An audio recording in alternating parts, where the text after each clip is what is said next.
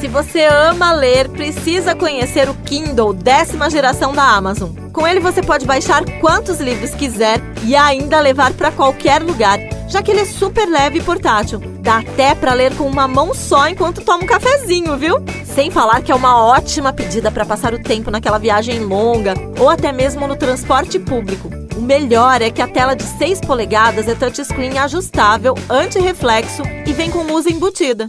Então você consegue ler tranquilamente durante a noite ou também naqueles dias ensolarados.